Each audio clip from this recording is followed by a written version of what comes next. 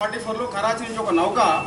ఇక్కడ Victoria stick on అనేటువంటి ఒక పడవ బయలుదేరినప్పుడు అందులో మందుగుండు సామాగ్రి